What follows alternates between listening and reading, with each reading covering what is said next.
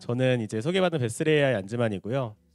사실 저희가 이 에메롭스 나우라는 행사를 이제 한 분기에 한 번 혹은 두 달에 한 번 이렇게 하고 있는데 이번 행사의 주제는 사실 특히 그 요즘에 어떠한 특히 2023년에 챗GPT 제네이아가 나오면서 사실 ML옵스도 그렇고 뭐 ML옵스뿐만 아니라 AI 전체적인 AI 시장이 굉장히 많이 변화가 있는 약간 이런 이제 과정들을 좀 거쳤던 것 같아요. 그래서 저희가 그 저번 달에 이제 그 텍사스에서 열리는 에메로스 월드를 갔다 오면서 이제 뭐 미국의 실리콘밸리에 있는 기업들은 이런 에메롭스를 어떻게 생각을 하는지 요즘에 어떠한 에메롭스와 LLM 옵스가 뭐고 이게 어떻게 지금 흘러가고 있는지 약간 이런 것들에 대한 좀 개괄적인 소개를 한번 드리면 좋을 것 같다라는 생각이 있어서 이런 이제 어 이런 주제로 한번 굉장히 가볍게 이제 좀 준비를 해봤다라고 보시면 될 것 같아요.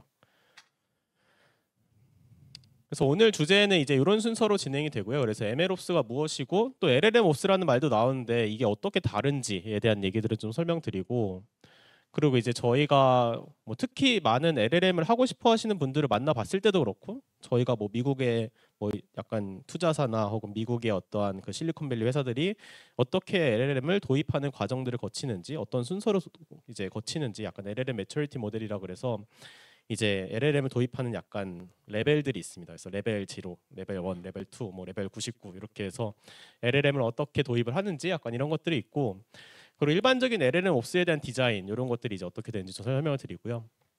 그다음에 이제 저희가 이러한 MLOps와 LLMOps를 어떻게 바라보는지에 대한 설명도 드리고 그다음에 이제 약간 하이라이트 중에 하나가 MLOps World에서 나온 어떠한 되게 다양한 insight들을 또 공유 드리는 자리 약간 이런 것들이 될 것 같습니다.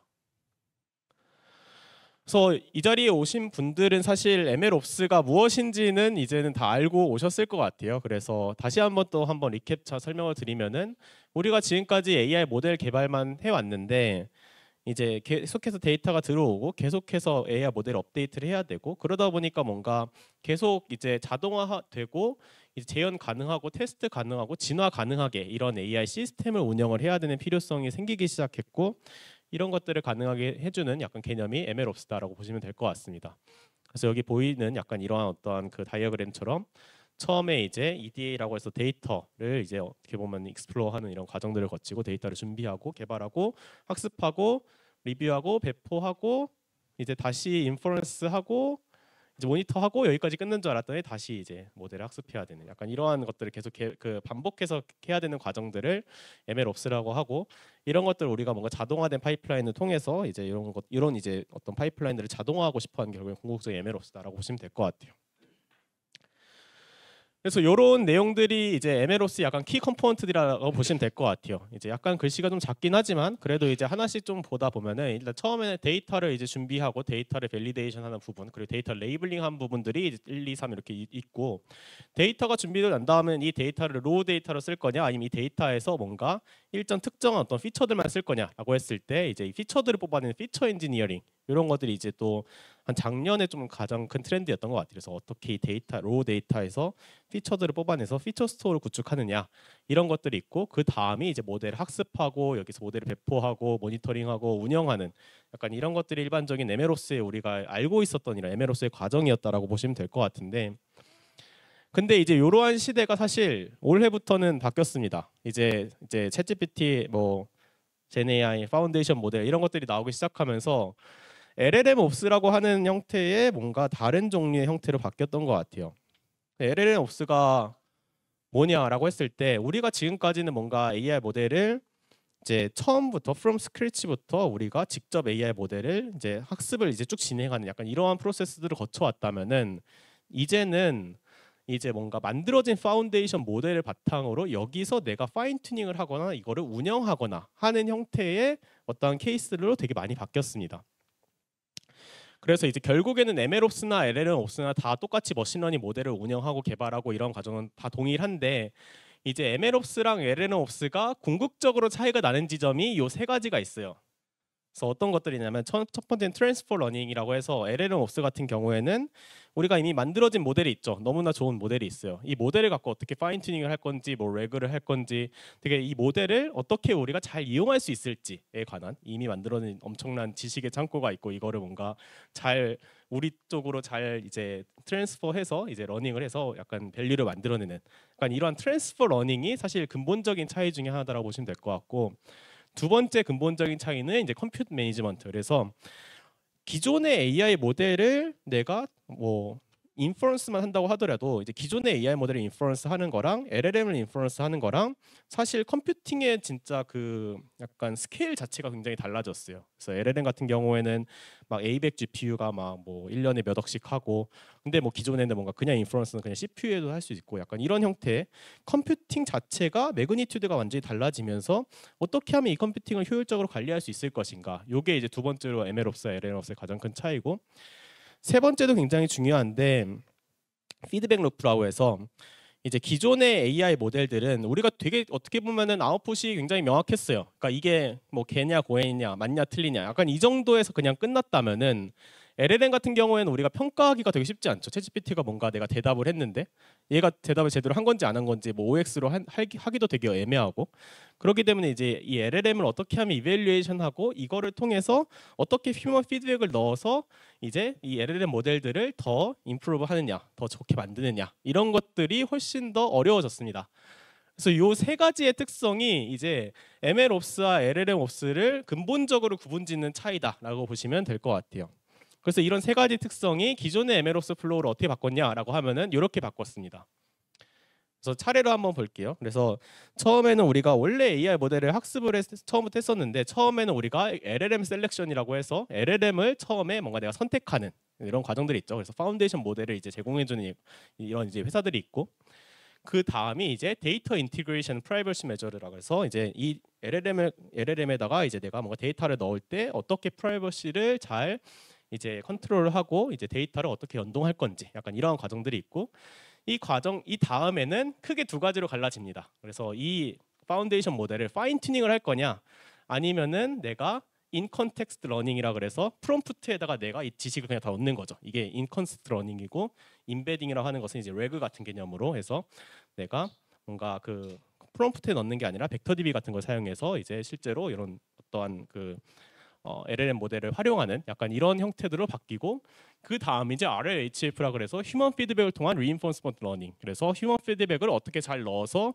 어떻게 이 그 LLM 모델, LLM 서비스들이 어떻게 하면 더 좋은 성능을 내게 만들 수 있을 것인가 뭐 이제 prompt engineering 그리고 뭐 context management 이런 종류의 어떠한 새로운 component로 생겼고 그 이후에 모델에 대한 어떠한 deploy, model performance monitoring 그러니까 이런 식으로 기존에 없었던 이런 과정들이 이 과정 속에 새롭게 들어갔다라고 보시면 돼요. 그래서 LLM을 내가 뭐 MLOps에서 LLMOps로 바뀌면서 이러한 어떠한 새로운 component들이 생겨나기도 했고 그 밑에 사이드에서는 이제 컴퓨팅이 굉장히 어려워지면서 이제 컴퓨팅이 굉장히 복잡해지고 컴퓨팅이 되게 많이 들어가기 시작하면서 어떻게 하면 model architecture를 optimize하고 어떻게 하면 컴퓨팅을 opti, optimize를 할 건가에 대한 어떤 그 component들이 굉장히 많이 늘어났다라고 보시면 될 것 같아요. 그래서 model architecture optimization 같은 경우에는 뭐 어떻게 하면은 LLM 모델을 inference에 잘 optimize해서 throughput을 잘 나오게 만들 것인가? 약간 이런 종류의 어떠한 model compression이나 이런 것들도 있고 compute optimize라고 하면은 우리가 GPU를 어디서 어떻게 잘 땡겨 와서 잘 사용할 수 있게 만들 것인가? 약간 이러한 종류의 문제들.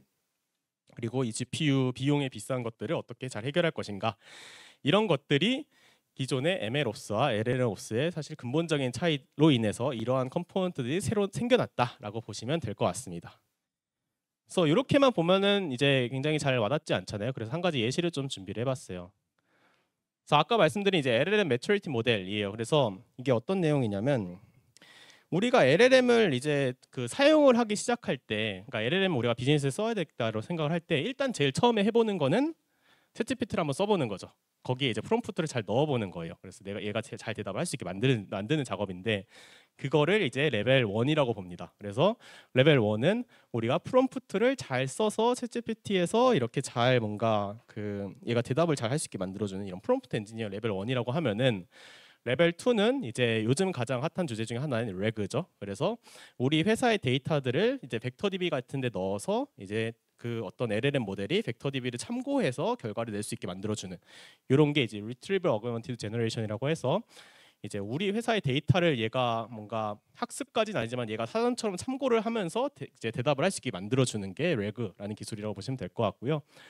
그 다음이 이제 실제로 레벨 3가 이제 실제로 이런 LLM 모델들을 이제 우리의 가진 데이터를 가지고 뭔가 미세 조정 학습을 하는 것. 그래서 원래 있던 모델에서 우리가 fine tuning을 해서 우리가 가진 모델들을 우리가 가진 데이터를 얘가 학습할 수 있도록 만드는 것. 이런 게 fine tuning이라고 보시면 될 것 같고 그 다음에 이제 여기는 이제 레벨 4가 아니라 레벨 99쯤 돼야 되는데 실제로 foundation model training 하는 것. 약간 이런 것들이 그 다음 레벨이다라고 보시면 될 것 같습니다. 그래서 일반적으로 이런 스택이라고 보시면 될 것 같아요. 그래서 여기 오른쪽에 보이는 게 약간 일반적인 어떤 그런 그 다이어그램이라고 보시면 될 것 같은데, 그러니까 약간 GenAI 뭐 personalize 스택에서 약간 다이어그램 보시면 될 것 같은데, 우리가 그냥 프롬프트만 한다라고 하면은 뭐 이제 그냥 프롬프트 저기 가운데 있는 프롬프트에 우리가 어떻게 이제 프롬프트를 잘 넣을 것인지를 사실 잘 develop을 하는 게 가장 큰 숙제라고 보시면 될 것 같아요. 물론 여기서도 되게 다양한 기술 스택이 존재해서 뭐 프롬프트들을 잘 버전 관리할 수 있게 해주는 허브 같은 것들이 이제 존재한다거나 되게 다양한 종류의 어떤 프롬프트 툴들도 있고 실제로 prompt engineering guide 이런 것들도 있어서 프롬프트로 최고의 성능을 낼 수 있게 만들어주는 툴들도 당연히 존재합니다. 그래서 그런 것들을 통해서 내가 이 지금 가지고 있는 모델을 건드리지 않고 혹은 내가 따로 데이터베이스 같은 걸 구축하지 않고도 그냥 LLM 모델이 잘 대답할 수 있게 만들어주는 건 그래서 프롬프트를 잘 넣고 뭐 밑에 있는 모델에서 뭔가 그 여러 가지 모델들을 가져와서 뭐 그냥 ChatGPT만 쓰는 게 아니라 Anthropic이나 다른 모델들을 여러 가지 가져와서 이런 것들을 조합해서 프롬프트를 넣어서 아웃풋을 만들어내고 그 결과로 내가 이게 잘 동작을 했는지 안 했는지를 evaluation을 하고 그 evaluation 된 결과를 바탕으로 다시 프롬프트에 넣고 약간 이런 게 이제 첫 번째 과정. 그래서 in-context learning in-contex, in-context라고 하면 이제 프롬프트에 대한 context를 넣는 거죠. 그래서 in-context learning이나 prompt engineering 이런 것들이 우리가 일반적으로 처음에 어떠한 그 LLM을 가지고 서비스를 구축할 때 만드는 약간 일반적인 어떠한 그 과정이다라고 보시면 될 것 같아요.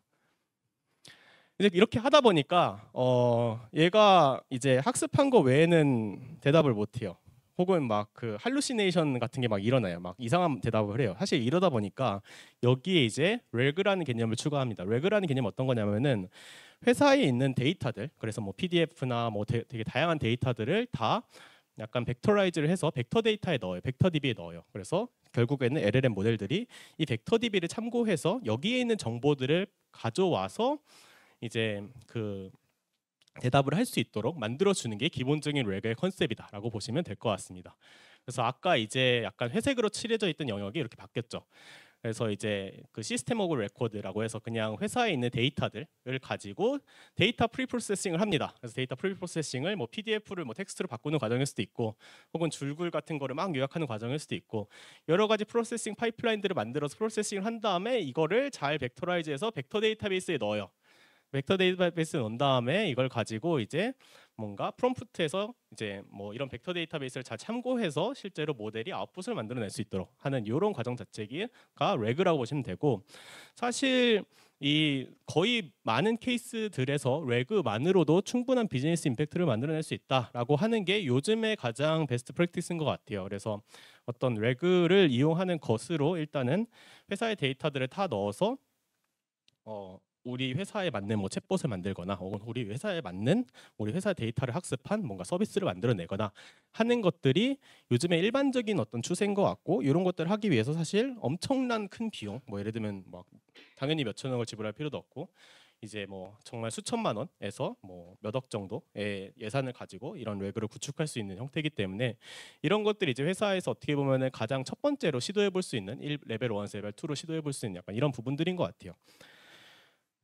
그 다음 이제 fine tuning인데 사실 fine tuning은 굉장히 여러 가지 부작용들이 많습니다. 그래서 fine tuning 같은 경우에는 어 그 원래 어떤 모델의 퍼포먼스 이런 것들을 이제 뭐 약간 해칠 수 있다든지 혹은 이제 뭐 이런 데이터들이 잘 학습이 될 수 있지 그러니까 잘 안 된다든지 약간 이런 부작용들이 있어서 사실 fine tuning을 바로 시작하는 것에 대해서는 별로 추천하진 않고 그래서 fine tuning을 하는 경우엔 내가 RAG만으로는 뭔가 이러한 어떠한 그 실제로 제대로 된 아웃풋을 내기가 어렵겠다라고 판단을 하는 경우 이제 이런 그런 경우에 이제 RAG를 충분히 시도, 하고난 다음에 아 RAG만으로는 좀 어렵겠다라고 생각한 경우에 이제 fine tuning 하시는 것을 추천을 드려요.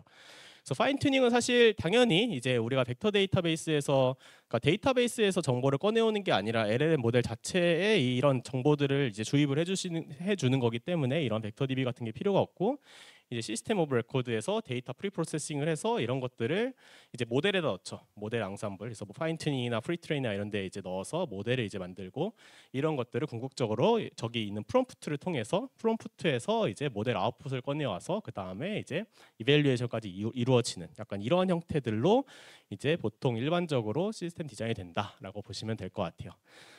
그래서 이렇게 좀 그 최근에 LLMOps의 트렌드가 좀 바뀌어 가고 있다라고 보시면 될 것 같아요. 그래서 내가 prompt engineering 하느냐, RAG를 하느냐, fine tuning을 하느냐에 따라서 필요한 component들이 다르고 그런 것들에 따라서 각 component에 대해서 이제 지원하는 다양한 기술들이 존재하기 때문에 그런 것들을 잘 섞어서 우리 회사에 맞는 케이스들을 만들어내는 것 이런 것들이 이제 최근에 가장 큰 트렌드다라고 보시면 될 것 같습니다.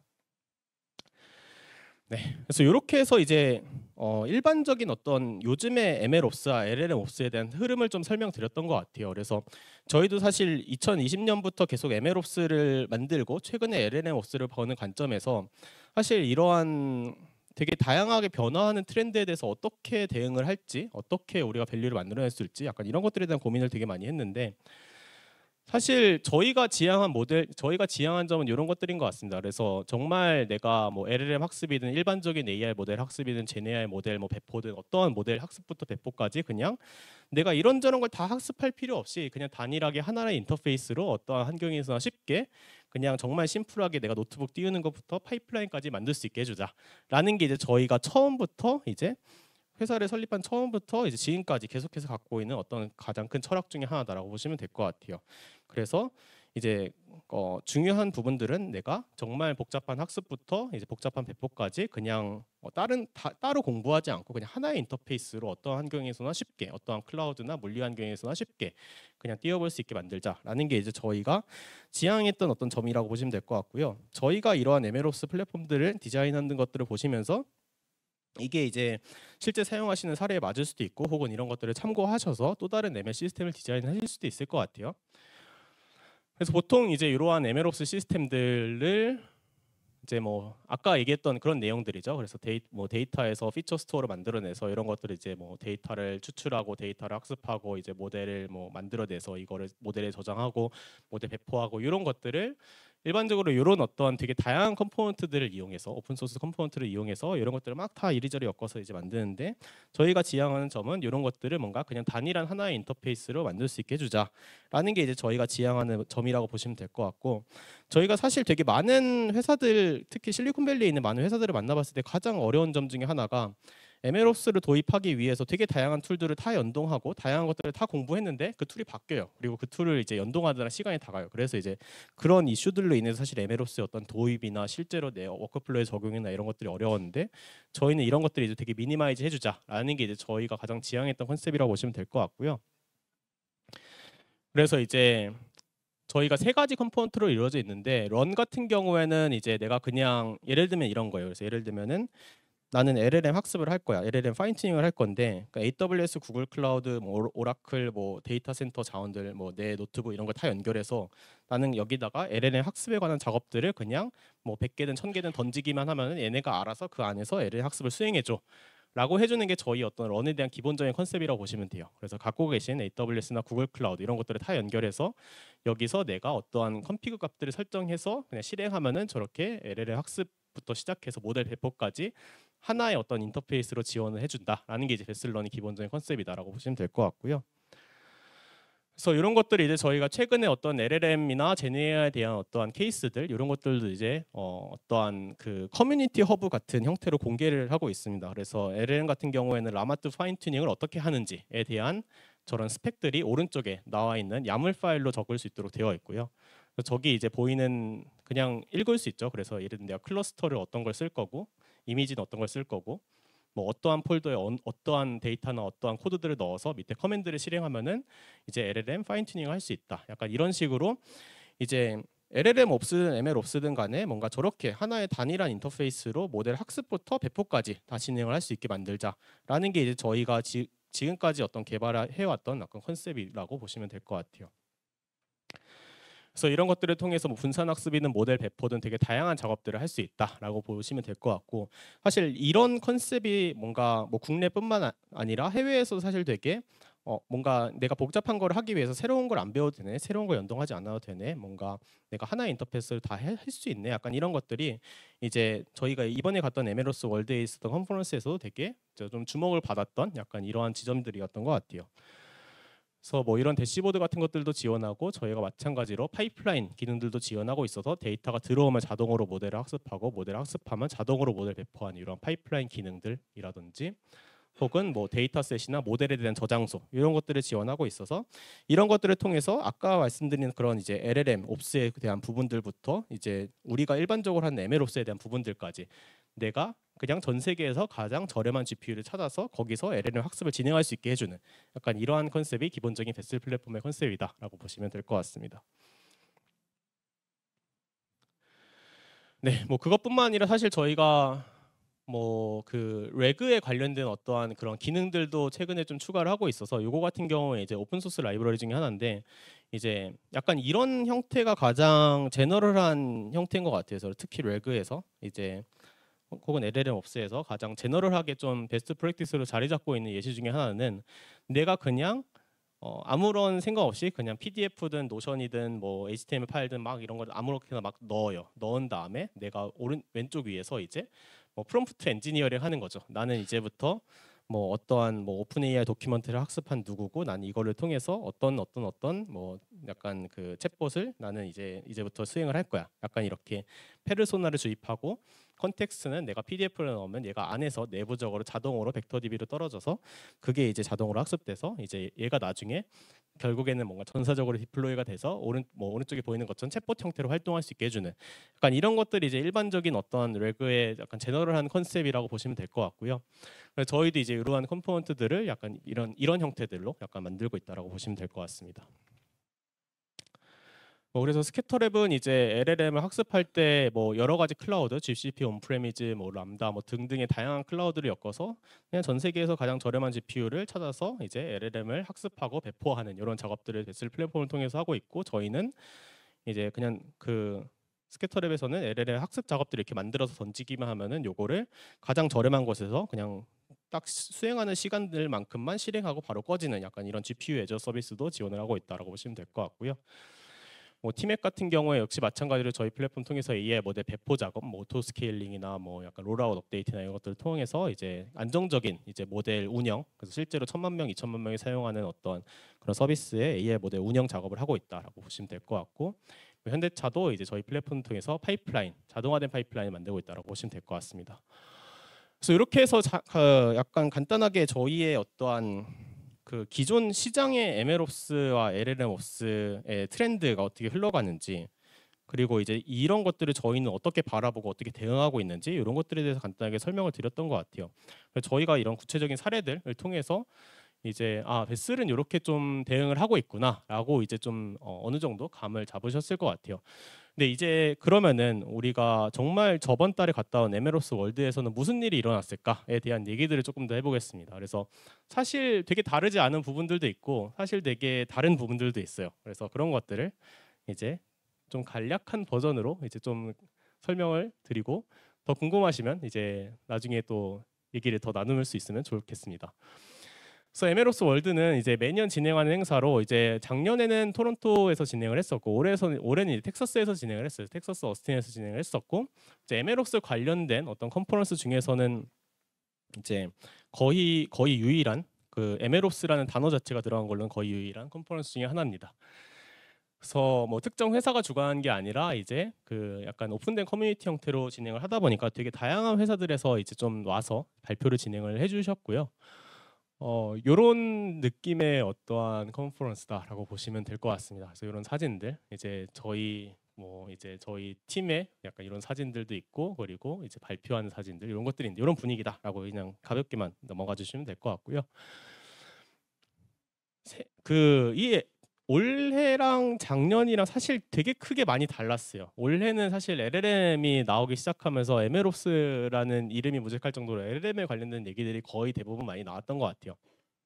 그래서 뭐 발표 유튜브나 발표 자료나 이런 것들이 이제 그 이, 이 세션 끝나고 아마 나중에 공개가 될 테지만 주로 이제 그 일곱 가지 키워드 MLOps World에서 나오는 약간 일곱 가지 trending 키워드는 이런 것들이 있었습니다. 그래서 LLMOps 당연히 많이 나왔고요. 뭐 DoorDash나 Grammarly나 약간 이런 곳에서 LLMOps 어떻게 하는지 약간 이런 것들에 대한 얘기가 많이 나왔고 fine-tuning LLM 어떻게 하면 LLM fine-tuning하고 evaluate 그러니까 performance를 이제 평가할 수 있을까? 이런 것들도 Cohere나 약간 이런 데서도 이제 많이 나왔고 뭐 LLM deploy 관련해서도 어떻게 하면 잘 LLM을 이제 그 이제 비용 그 효과적으로 deploy를 하고 이제 어떻게 하면 모니터링 할 수 있는가 LLM evaluation에서 뭐 Hugging Face나 약간 이런 것들에서 LLM을 어떻게 하면 평가할 수 있을까? 그래서 아까도 말씀드렸지만 LLM 평가라는 게 사실 되게 어렵잖아요. 얘가 얼마나 몇 점으로 하고 있는지 이런 거 평가하기 어렵기 때문에. 그런 것들은 이제 사실 Hugging Face에서도 뭔가 블로그 형태로 공개한 게 있어서 그런 것들은 이제 또 한번 찾아보시면 또 굉장히 좋을 것 같고요. 그 외에도 이제 실제로 이런 LLM들을 내가 내부적으로 적용하기 위해서 굉장히 practical하게 해야 되는 것들에 대한 얘기도 되게 많이 나왔어요. 그래서 예를 들면 이제 security and privacy에 대한 문제. 그래서 어떻게 하면 이 LLM들을 뭐 외부에 있던 내부에 있던 간에 이제 내 개인 정보나 이런 것들을 들어가지 않게 만들 것인가 이런 것들에 대한 얘기들도 사실 되게 많이 나오고 있는 것 같고요. RAG에 대한 얘기 사실 너무 많이 나오고 있고 그리고 비즈니스 enterprise에 대한 얘기 그래서 뭐 인스타카트나 스트라이프나 뭐 포드나 드랍박스 같은 데에서 어떻게 MLOps를 만들고 있는지 뭐 LLMOps도 어떻게 바라보고 있는지 약간 이런 관점들이 많이 있었던 것 같아요. 그래서 지금 현재의 status를 보자면 이제 그 지금 뭐 인스타카트나 드랍박스나 스트라이프 같은 이제 그 어떤 미국의 실리콘밸리 IT 기업들은 MLOps에 대해서는 아 이제 막 좀 구축을 어느 정도 해봤어. 근데 LLMOps가 나왔네. 이거를 어떻게 해야 되지? 약간 이 정도에서 이제 여러 가지 좀 스터디들을 진행을 하고 있는 상태다라고 보시면 될 것 같고. 그래서 대부분 이제 비즈니스나 enterprise 요 이제 토픽에서 나온 얘기들은 어떻게 하면 어떻게 우리가 MLOps를 구축했고 어떻게 LLM을 활용해서 뭔가 만들어 보려고 하고 있는가 약간 이런 얘기들이 주로 많이 나왔다고 보시면 될 것 같고요. 그래서 그런 점에 있어서는 한국이나 사실 미국이나 크게 다른 점이 없죠. 우리도 이제 MLOps는 어느 정도 아는데 LLM 어떻게 적용해야 될지 약간 다 혼란스러워 하잖아요. 똑같아요. 그래서 그렇게 하고 있고 뭐 security 프라이버시 문제 이런 것들을 이제 본격적으로 적용을 해보기 위해서 이제 뭐 이런 security 프라이버시 문제 어떻게 해결할 것인가 약간 이런 것들에 대한 고민들 또 이제 본격적으로 시작이 되고 있는 약간 이런 것들이 트렌드다라고 보시면 될 것 같습니다. 그래서 이렇게만 보면은 되게 아쉽잖아요. 그래서 세 가지의 좀 key session을 좀 준비를 해봤습니다. 그래서 어떤 얘기들이 나왔는지 세 가지 key session들을 제일 큰 것부터 이제 이제 하나씩 하나씩 이제 좀 준비를 해봤는데 어 메타 이제 페이스북이죠. 메타 같은 경우에 이제 사실 작년에도 제가 뭐 MLOps World에 가서 메타에 대한 어떤 talk을 듣기도 했고 올해도 사실 굉장히 좀 인상 깊던 것들이 많이 있었는데 인상 깊던 것 중에 하나는 그 발전 속도가 굉장히 빠르다는 것에 있는 것 같아요. 그래서 메타에서 이번에 발표한 Future of End-to-End ML 플랫폼이라는 약간 요런 어떠한 주제 자체는 약간 히스토리를 보면 더 잘 이해가 되는데 2022년에 어떤 얘기를 했냐면 2022년에는 우리가 페이스북이나 인스타그램에 추천되는 추천 AI 모델, deep learning AI 모델들을 어떻게 만들면서 굉장히 트래픽이 크고 굉장히 모델도 클 거잖아요. 그럼 이거를 어떻게 GPU infrastructure부터 해서 네트워크까지 어떻게 하면 optimize 하는가에 대한 얘기가 작년에 나왔어요. 그래서 예를 들면 내가 GPU를 이제 GPU에 대한 failure를 이제 그 줄이기 위해서 어떻게 하면 GPU들을 처음에 이제 테스트를 하고 어떻게 하면 이 GPU들을 이제 뭔가 failure나 이런 것들을 잘 감지하고 failure가 발생했을 때 이제 이런 deep learning 모델들을 이 failure가 발생한 그 GPU 노드를 제외하고 뭔가 새로운 노드를 붙여서 어떻게 하면 모델을 안정적으로 운영할 것인가 이런 내용들이 2022년에 나왔는데 2023년 상반기엔 어떤 얘기가 나왔냐면은 이제 얘네들도 이제 그런 칩들에 대한 얘기를 합니다. 그래서 우리는 트레이닝과 inference를 잘할 수 있는 칩들에 대해서 우리는 개발을 한다. 그리고 이제 우리는 이런 것들이 더 잘 working할 수 있는 데이터 센터를 만든다. 그리고 이런 것들을 바탕으로 우리는 16,000장 정도 되는 GPU를 가지고 super computing research를 한다. 이런 것들이 이제 올해 상반기에 나왔던 얘기인데 올해 하반기에는 심지어 어떤 얘기들이 나오냐면은 아 우리가 이제 16,000 정도 되는 이제 GPU 클러스터가 있고 여기에 되게 엄청나게 대량의 모, 그 약간 research, 대량의 트레이닝부터 inference까지 되게 대량의 어떠한 실험들과 연구들을 되게 많이 넣는데 그럼 이 과정에서 여기 흘러온 들어오는 네트워크들은 어떻게 하면 우리가 optimize를 할 건가? networking에 관련된 얘기, 뭐 트래픽에 관련된 얘기 이런 것들을 하고 그리고 이제 아카디아라는 새로운 이제 end-to-end AI 시스템이라는 것들을 공개를 했어요. 그래서 오른쪽 위에 보이는 게 사실 아카디아의 어떤 기본적인 컨셉이라고 보시면 될 것 같은데 우리가 그냥 일반적으로 생각하는 MLOps 시스템에서 한 단계 더한 단계 더 나아가서 데이터 센터에 대한 하드웨어적인 대한 부분들과 이런 것들을 통해서 우리가 정말 뭐 만장 정도 된 GPU를 가지고 AI 모델을 운영을 했을 때 이게 CAPEX가 어떻게 되는지 정말 우리가 profit이 어떻게 나오는지까지 이제 어떻게 보면 하드웨어부터 실제로 비즈니스 side까지 전부 다 커버하는 약간 이러한 AI 플랫폼을 아카디아라고 부른다고 보시면 될 것 같아요. 그래서 이런 것들이 이제 인풋으로는 이제 뭐 예를 들면은 어떤 되게 긴 약간 플랜들? 그럼 예를 들면 우리는 6개월 안에 뭐 어떠한 뭐 big 모델을 개발을 할 거고 이런 것들을 우리가 어떻게 뭐 실제로 서비스에 붙일, 것이다. 이런 플랜들이랑 이제 뭐 예를 들면 이제 뭐 실제로 그 데이터 센터의 어떤 floor plan 그래서 몇 층에 뭐, 뭐 약간 뭐 어떻게 지금 전기가 흘러가고 있을까 이런 것들을 포함해서 이런 것들이나 뭐 하드웨어 스펙 뭐 이런 것들을 다 넣어서 정말 이 모델을 내가 유, 뭐 이때부터 이때까지 트레이닝을 어떻게 할 거고 inference를 어떻게 할 건데 여기서 네트워크 트래픽은 어떻게 될 것이며 전력 소모는 어떻게 되고 이 전력 소모로 우리가 궁극적으로 profit을 어떻게 볼 수 있으며 이거를 통해서 우리가 이제 앞으로 향후의 계획을 어떻게 짤 수 있는지 약간 이런 종류의 비즈니스 임팩트 가 이제 실제로 infrastructure 레벨에서 이제 얘기를 하는 약간 이런 정도의 레벨까지 메타 같은 경우에는 점 계속해서 진화를 해오는 것 같아요. 그래서 사실 작년에 봤을 때도 메타에서 하는 것들이 굉장히 인상 깊었지만, 그러니까 뭐 예를 들면 진짜 막 GPU 막 그 페이스북이나 인스타그램에 대응하는 어떤 트래픽에 대해서 recommendation 모델을 우리가 딥러닝으로 어떻게 모델 설계를 하고 optimize를 하는가 이것도 굉장히 인상 깊었는데 뭐 이제는 이제 칩과 데이터 센터 그리고 여기에 대한 비즈니스 플랜까지 그냥 어떤 end-to-end AI 시스템에 대한 어떠한 얘기들로 이제 흘러가는 것 같고 이제 이 다음 next 플랜은 뭐라고 얘기하냐면은 이런 것들을 통해서 우리가 어떠한 AI로 통한 decision making process를 이 시스템이 결국에는 디자인하도록 하는 것까지 얘기를 하고 있어요. 그래서 여기까지 도달을 하면은 이제 실제로 우리가 어떤 AI 모델을 언제 배포할 거고 이거에 따라서 우리가 전력을 어떻게 어, 넣을 거고 약간 이런 것들까지 이제 그리고 이제 우리가 서비스에 어떤 feature들을 어떻게 enable 할 건지 약간 이런 decision making process까지 Arcadia가 전부 다 담당하게 만드는 게 이제 메타의 어떠한 그 미래 end-to-end ML 플랫폼에 대한 얘기다라고 보시면 될 것 같아요. 그래서 메타 같은 이런 이제 거의 제일 잘하는 기업이죠. 이제 뭐 Llama를 공개한 약간 메타 같은 기업은 약간 이런 형태로 가장 발전된 형태의 이제 머신러닝 플랫폼을 공개하고 있다라고 보시면 될 것 같고요. 여기는 너무 엄청나서 이제 인스타카트라는 이제 약간 약간 더 약간 그 중소기업 예, 얘기를 가져왔습니다. 인스타카트 이제 미국의 배민 같은 이제 수조원 수조원 수십조원 네 수조원 정도 하는 기업이고요. 여기 같은 경우에는 사실 2014년부터 AI에 대한 이제 적용을 시작했어요. 그래서 2014년부터 적용을 시작했고 실제로 얘네들이 AI로 뭔가 어플리케이션 만드는 것들은 오른쪽 위에 있는 저런 것들입니다. 그래서 search라든지 혹은 recommendation이라든지 혹은 광고라든지 fulfillment라든지 약간 이런 종류에 있어서 AI 모델들을 계속해서 deploy하고 약간 그런 것들을 이제 계속해서 만들어 나가는 이런 것들을 만들어 나가고 있어요. 그래서 2024, 2014년부터 뭔가 머신러닝 모델에 대한 연구를 하기 시작했고 이런 것들 하나하나 deploy 하다 보니까 아 나는 이제 머신러닝 플랫폼이 필요해 MLOps 플랫폼이 필요해라고 해서 이런 것들을 여러 어떠한 서드 파티 툴을 이제 엮어 엮고 오픈 소스 tool을 엮어서 어떤 ML 플랫폼을 만들기 시작한 게 2021년이다라고 보시면 될 것 같아요.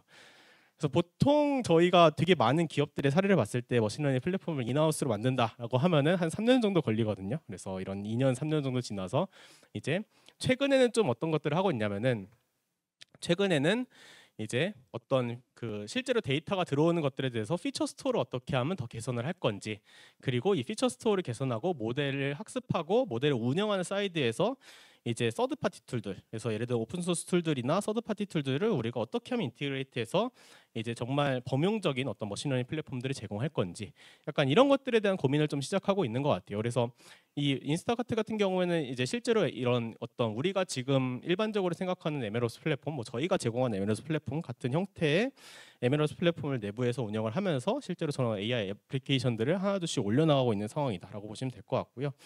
그래서 사실 우리가 인스타카트를 생각을 했을 때 그렇게 뭔가 엄청 실리콘밸리 엄청난 IT 기업이라고 생각하긴 하지만 사실 지금 한국의 어떤 상황들과 뭐 미국의 상황들 이렇게 봤을 때 사실 그렇게 차이가 나는 상황들이 아니고 여기도 이제 2021년부터 만들기 시작해서 2023년에 이제 이런 것들을 만들어 나가고 있다라고 보시면 될 것 같아요. 그래서 이제 막 하나 둘씩 이런 머신러닝 어플리케이션들을 MLOps 플랫폼에 올려 나가고 있는 이런 과정들을 거치고 있다라고 보시면 될 것 같아요.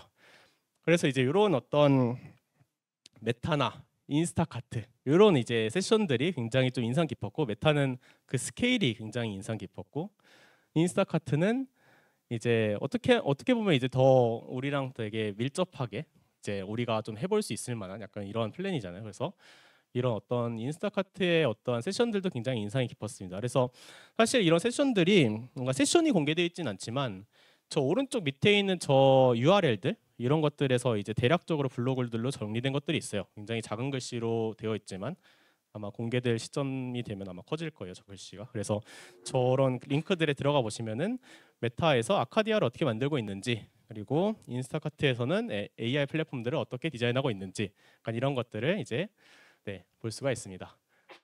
네, 그리고 이제 저희도 발표를 했습니다. 저희도 하나 발표를 했고요. MLOps World에서. 그래서 LLM 이제 from playground to production ready pipeline이라고 해서 저희도 하나 발표를 해서 다가 이 다음 세션에 있는 이제 그 저희 이제 product manager 이제 플로이드가 어, 저희 세션에 대해서 간략하게 소개를 해주시면서 LLM을 어떻게 하면 fine tuning하고 deploy 할 수 있는지 약간 이러한 되게 practical한 얘기들에 대해서 해주실 예정이고요. 네 여기까지 해달라고 하네요. 그래서 궁금하신 것들 있으시면은 Q&A 해주시면 감사하겠습니다.